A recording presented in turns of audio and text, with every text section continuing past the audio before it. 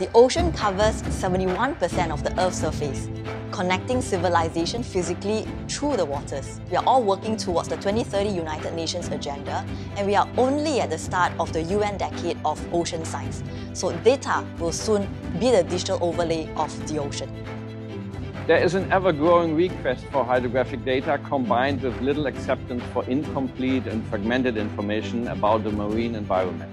National hydrographic services are under pressure to meet these expectations in collaboration with commercial hardware and software industry. The expectation is to finally end up with a digital twin of the oceans. There's not one product that fits all, so customization is a big issue.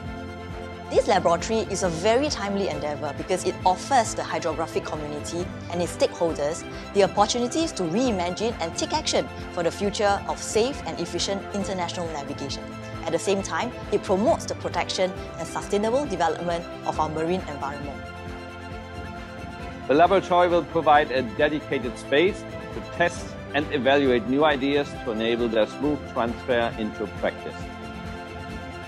Innovation is like creating a flame with two rocks. It is easy to make a spark, but to turn it into a flame that lasts, we need not only the ideal rocks and the people who know how to strike the rocks, but we also need to create the optimal setting for combustion. So what the laboratory offers is really this optimal setting, a place to fan these sparks into lasting flame between experts into productive collaborations and sustained solutions. It will remove the pressure from industry to implement our ideas and give feedback about their suitability or needs for adjustments before they are adopted.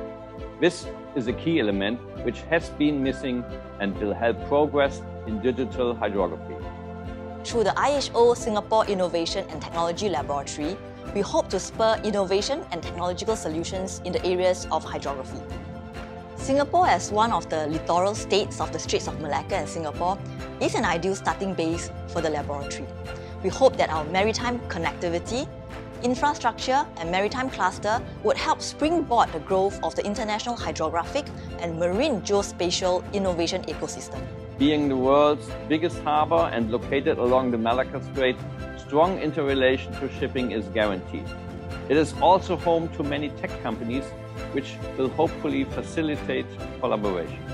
I hope the lab will help us with the transition from pilot solutions to widespread implementation.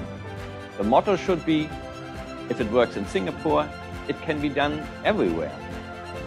Charting ahead, I believe the laboratory will be the magnetic north for the hydrographics community's compass.